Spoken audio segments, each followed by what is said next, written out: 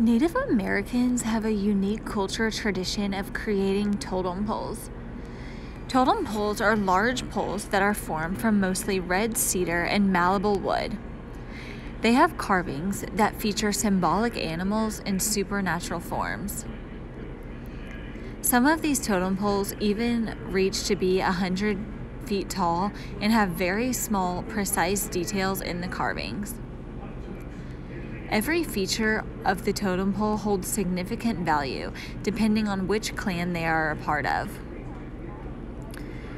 Wealthy and influential families usually have more than one crest. The totem poles can also be created to honor a particular event or even a specific person.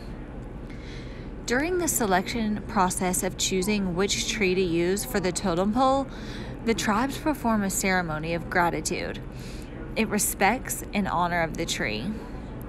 These totem poles can show the history of their family, their power, and their family's lineage.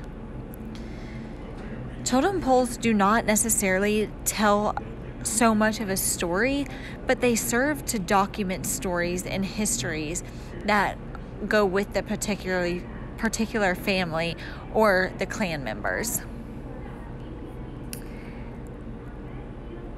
Most of the carving has traditionally been done by men, but some women did carvings as well. This photo here above is the Alaskan Indian tribe's totem poles. The Tlingits of the southeast Alaska are separated into the raven modi and the eagle modi. When you look closely at the four poles, you notice that they're all very different. Although they look similar, the small differences are what keep them apart. The photo of the to- Modi and the Eagle Modi. When you look closely at the four poles, you notice that they are all very different. The photo of the totem poles is black and white, but in real life they can just be plain wood or painted in different colors, outlining the animals. The color of paint used for the totem pole represents different meanings.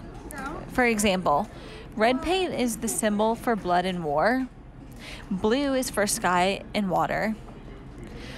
The white color symbolizes he- heavens. Green color symbolizes nature, like grass, mountains, and trees. And the yellow is for the sun. Lastly, black symbolizes power.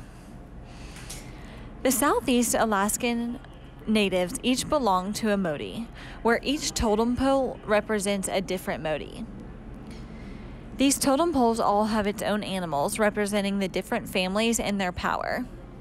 In the first totem pole to the left, the eagle at the top represents four focus, strength, peace, and leadership. All of this dictates which color is on the totem pole.